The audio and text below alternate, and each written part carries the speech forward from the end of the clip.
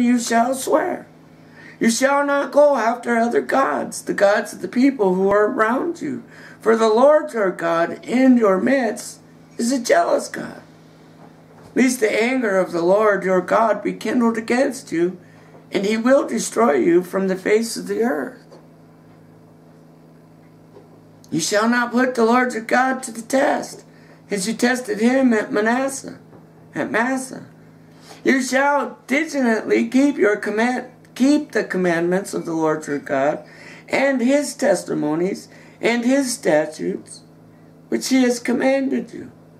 And you shall do what is right and good in the sight of the Lord, that he may that it may go well with you, and that you may go in and take the possession of the good land that the Lord swore to give your fathers, by thrusting out all your enemies before you, as the Lord has promised.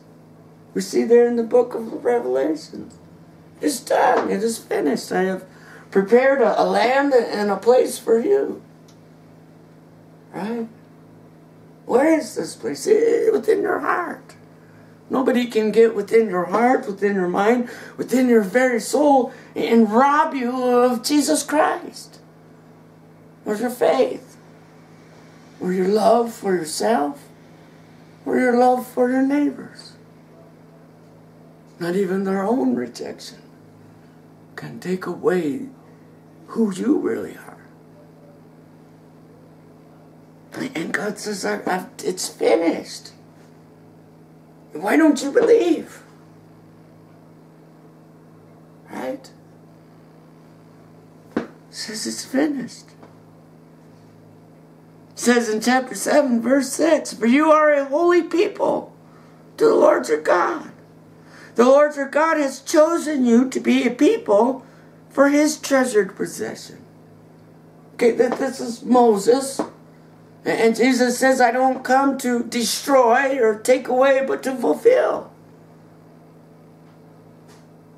You are God's people, chosen by God for his pleasure.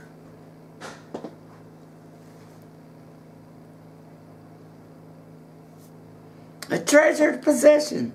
Out of all the people who are on the face of the earth, it was not because you were more in number than any other people that the Lord set his love on you and chose you. For you are the fewest of all peoples. But it is because the Lord loves you and is keeping an oath that he swore to your fathers that the Lord has brought you out with a mighty hand and redeemed you from the house of slavery. I've never been a slave. You, you are a slave to sin. In the same way, a smoker is a slave to, to the addiction of smoking cigarettes, a slave to death, a slave to disaster, a slave to sickness, a slave.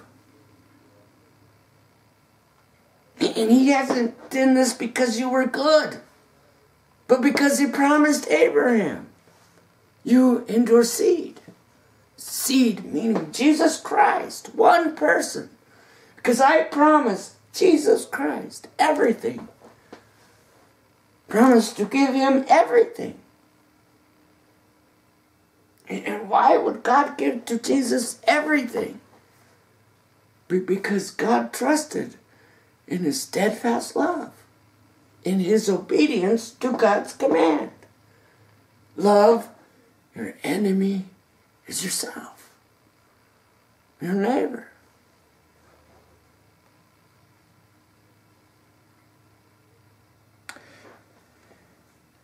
From the hand of Pharaoh and the king of Egypt. Know therefore that the, lo- that the Lord your God, the faithful God, who keeps covenant and steadfast love with those who love him and keep his commandments. Right? It is the will of God that all men be saved. When are you gonna believe it? The day God removes all Muslims from the earth. When God destroys all my enemies. And God's saying, you, you are the enemy. You who cannot forgive your brother from your heart. All of us. Chosen by, by God. He says, to a thousand generations, he says, oh, the faithful God who keeps covenant and steadfast love with those who love him and keep his commandments to a thousand generations and repays to their face those who hate him by destroying them. Right? We, we see in the book of Revelations the kingdom comes and for a thousand generations. Jesus says, I'm coming and I'm coming with my reward. And he will repay those face to face. Those who hate him. And here's the Pharisees asking Jesus face to face, Where is the kingdom of God?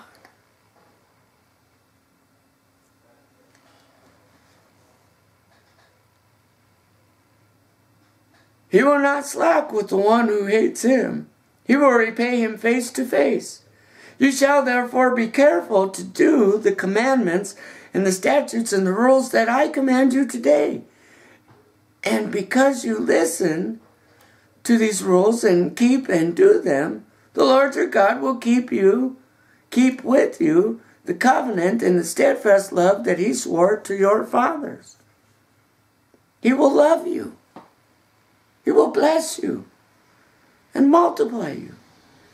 He will also bless the fruit of your womb and the fruit of your ground and the grain of your wine and your oil, the increase of your herds and the young of your flock, in the land that he swore to your fathers to give to you. You shall be blessed above all peoples. And there shall be a male, not be a male or a female barren among you or among your livestock. And the Lord will take away from you all sickness, sickness of, of your own heart take away from you the effects of the enemies. Being father like son, right? Son like father. Bless those who curse you. Right? God, the, the God of steadfast love. Bless those who curse you. And they all curse Jesus. Who, who brought the, the curse to the world? The, the, the man who had the mark, this image, and this name. Bless those who curse you. Who was cursed? All the inhabitants of the world.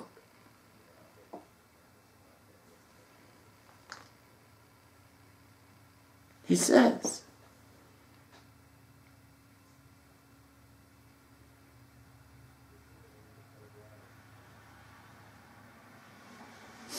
He says, And you shall consume all who hate you. And you shall consume, and but he will lay them on all who hate you. And you shall consume all the peoples that the Lord your God will give over to you. Your eye shall not pity them, neither shall you serve their gods. For what would the, what for that would be a snare to you, if you say in your heart, These nations are greater than I. How can I dispose them? You shall not be afraid of them. But you shall remember what the Lord your God did to Pharaoh and to all of Egypt. Right? That's the thing when we see the signs and, and the wonders and, and the pestilence and, and all the plagues of God being rained out into this world today, and we wonder what, what is going on. God is delivering his people. That's what that's what the signs were. That's don't harden your heart. And, and how is he delivering his people? Through death through death. That's why Jesus come to die. He was so obedient to God's word. He was even obedient to the place of death, and not just death, but death by crucifixion.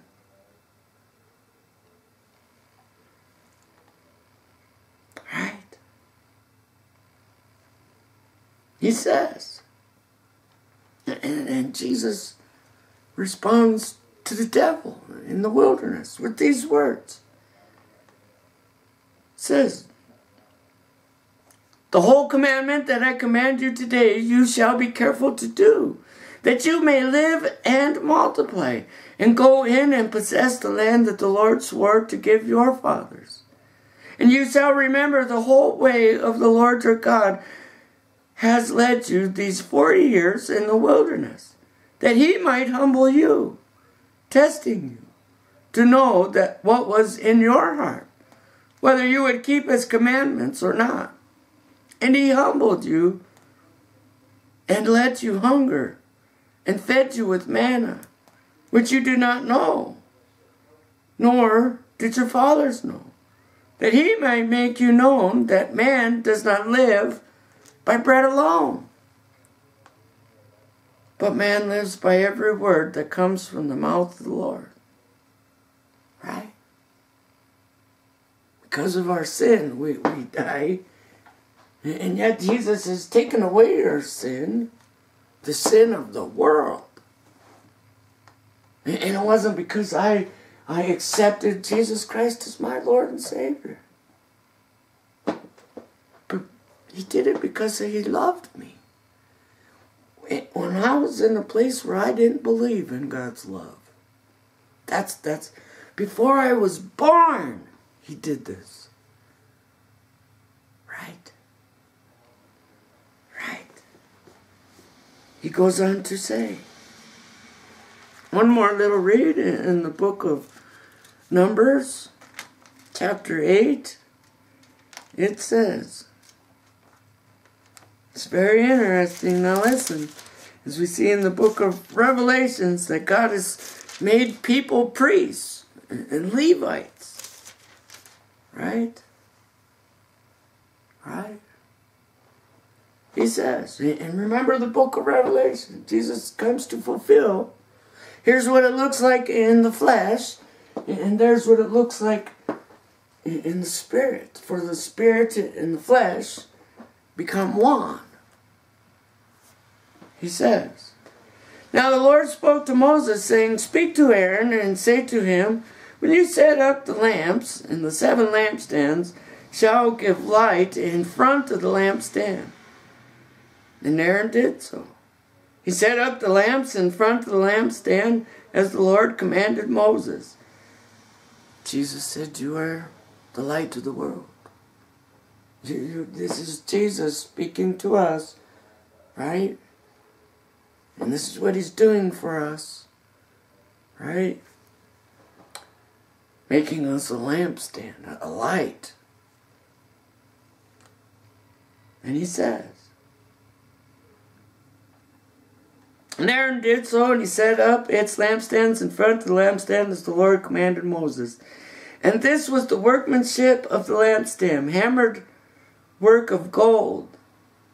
From its base to its flowers, it was hammered work, according to the pattern that the Lord had shown Moses, so that he made the lampstand. And the Lord spoke to Moses, saying, Take the Levites from among the people of Israel and cleanse them. Not tell the people to go cleanse themselves. Jesus, Moses, the high priest, Aaron, God, all one. God speaks and Moses, right, speaks to Moses, and then Moses tells Aaron, and then Aaron goes to it. God is the Word, and the Word was God. And then the Word became flesh. Jesus, Aaron, God, Moses. What does heavenly realm look like? Well, if we can't understand this earthly stuff, we'll never understand that stuff as God displays Himself through us. He goes on to say, Take the Levites from among the people of Israel and cleanse them. Thus you shall do to them to cleanse them. Sprinkle the water of purification upon them. Have you ever been baptized? Right? Believe John, Jesus says. I want you to believe John the Baptist. Go get baptized and one who's greater than he will come and baptize you with the Holy Spirit. Right? And he says, and let them go with a razor over their body, shave their whole body, and wash their clothes and cleanse themselves. Let them be taken, let them take a bowl from the herd and its grain offering of fine flour with mixed oil, and shake, and you shall take another bull from the herd for a sin offering. And you shall bring the Levites before the tent of the meeting and assemble the whole congregation of the people of Israel. We are the people of Israel. We see there in, in the book of Revelations, there's this great meeting, there's this great gathering, and all the hosts of heaven and Jesus Christ and the Lamb of God and everything are there. And, and the scrolls are, scrolls are open and the book of life is there, and everybody who's written in the book of life has life. And here we are. And before God's new kingdom is made and everything, that there's a, a burnt offering. Those who are thrown into a lake of fire, right? Those who are deceived. And everything is thrown, and all that's done first is a sin offering. All right, gonna cleanse you. My, my body, this world, and everything of this world is sin and one day it will be thrown in the lake of fire, and there'll be nothing left. Nothing left but the truth.